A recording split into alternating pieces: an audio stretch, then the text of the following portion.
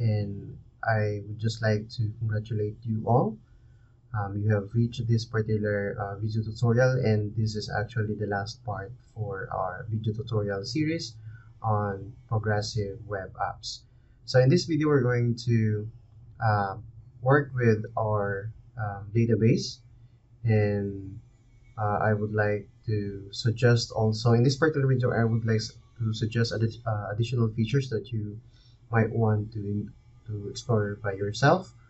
Um, but yeah this is the conclusion of our PWA video tutorial series. And in this video also we're going to uh, to be able to persist the offline data of our application or the progressive web app. Now basically um, we have this particular uh, web page right here and um, this is the overall um, look of our PWA application now let's uh, because this is um, not dynamic as I've said from the previous tutorial this is a static um, information so we want to remove this from the UI whenever our PWA is starting. So let's go open up our um, application, uh, I mean the source code of our application. And inside index.html we, we will see here the static information being added to this particular um, div right here or this particular div okay? Um, contacts with uh, I'm in the class um, contacts right here so we're adding the contacts into this particular div. Okay so we have here the first one and the second one. So let's just for now let's just um, comment this one out and also this one. Because we don't want to display this whenever our app is loading. So save that and let's go back into our browser and let's um, hard load our application. So currently we don't have the um, information right here. That's because we don't have uh, any uh, contact added into our database. So if we click on this add we should be able to add a new contact. So for example John Doe and some run, random um, contact numbers. Okay and then add. So as you can see here you have newly added or you have a new contact added into our database. And this is persisted or I mean this is uploaded into our Firebase database. Okay um, we don't want to add a new document. Let's just view this one and we have here the John Doe added into our database. And of course we could add a new one for example Cesar um, maybe uh, I don't know um, Greg um, Odin and then new um, number and then add new contact. So take note of the contact name and it should be added right here inside our database firestore database. Greg oden and of course the added number. Now um, we could also add another one just to test the delete function as delete and then um, some random numbers also. And of course we could delete this. Okay so let's just check first if it is present inside our firestore database. And um, okay task delete with the numbers. Now um, we could delete this click on that and we should be uh, able to delete, delete that also inside our firestore um, database so as you can see there are two actions being um, like taken by the user um, adding and deleting a contact and all of this information are being persisted into our Firestore database, right? Now, what happens if our browser goes offline? Okay, uh, we want to add a feature that even if it is offline, the, the user should be able to add a new contact. And later on, if the browser goes online again, you should be able to, um, you know, persist this data into our Firestore database because currently we don't have that kind of functionality. So that's why we need to add that. And in order for us to add that, let's open up our VS Code and open uh, specifically the db.js file. And before uh, listening to the real-time updates of our contacts database, let's just um, add a new, you know, logic right here. And basically, we're going to use the db object or db um, variable and enable persistence. Okay, enable persistence, and then we're gonna add a catch method right here or function. And then it's going to have a parameter or I mean the return.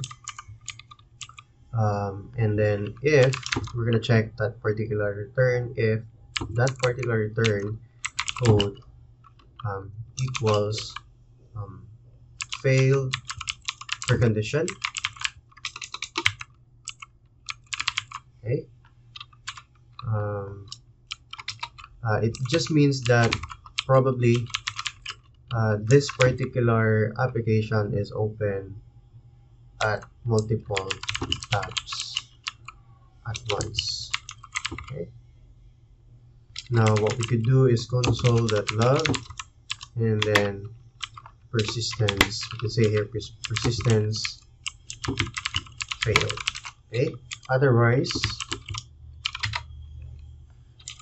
else if error code equals um, unimplemented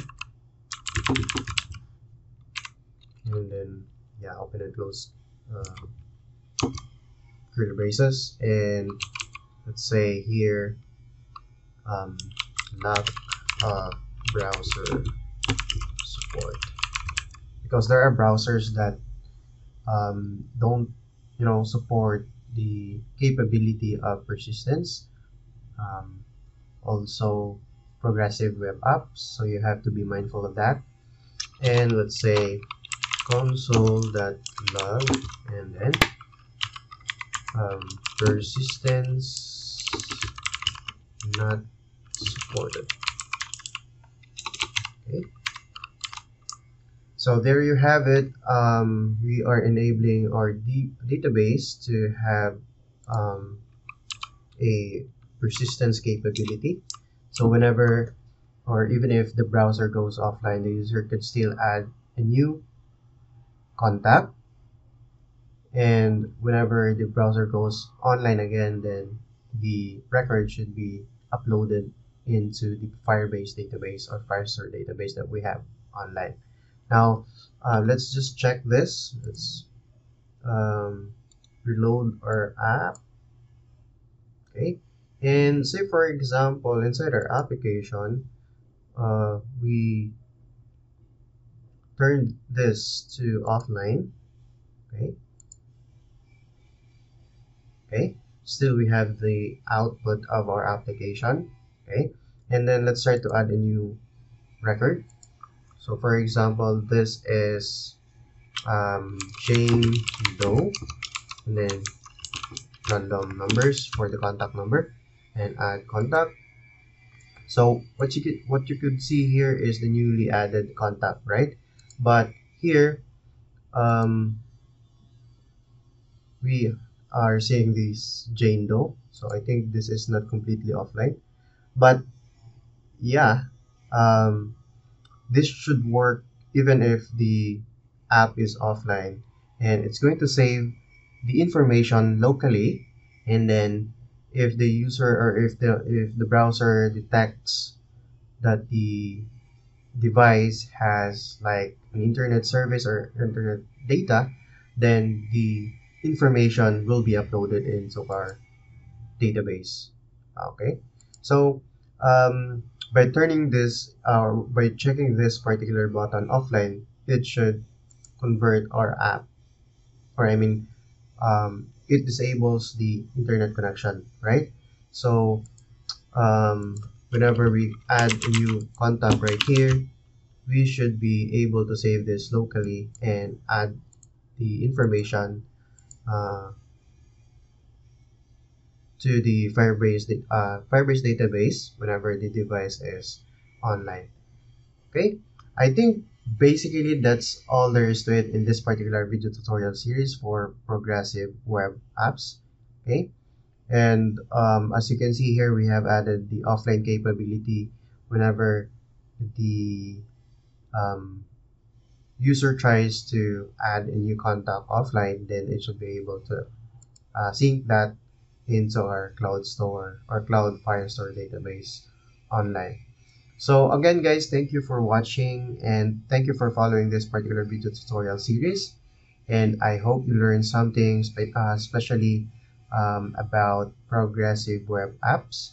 And actually there are a lot of features that you might want to explore uh, on your own. So for example, if the user clicks on this and add a new contact, then um, you could try to close the form. Okay, so currently the form is not closing, right? So you might want to explore a uh, explore how to close this particular form when the user tries to add a new contact. And of course, if you want, you can also implement a alert. For example, the user tries to click on this one, it should um, try to warn the user that you are deleting an information or a sensitive information. And uh, just try to check if the user wants to go through that process of removing the, the contact okay? So if you click that uh, currently this is automatically deleted uh, from our database okay? So I am challenging you to add in to add a new feature that will ask the user if he if you really want to delete a particular record inside our Firestore database. So I think that's all there is to it guys. Thank you for watching again. And if you are new here in our YouTube channel and you like content about programming, different programming uh, languages like Python, um, Java, C Sharp, uh, Visual Basic, and other um, related programming languages, um, you could follow along or you could follow our YouTube channel by subscribing and press the notification bell so you'll get updated whenever we have a new upload um, regarding or about programming. So thank you again and see you in the next video tutorial series.